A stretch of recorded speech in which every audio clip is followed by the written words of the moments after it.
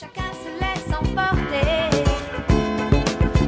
Chacun tout contre l'autre serré.